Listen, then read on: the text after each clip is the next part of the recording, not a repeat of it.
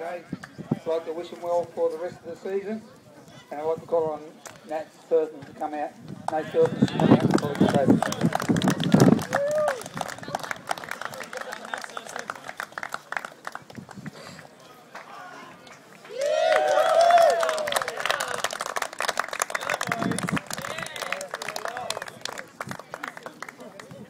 Let's a big hand for the Thirroul Reserve Grade League champions. Come on, mate.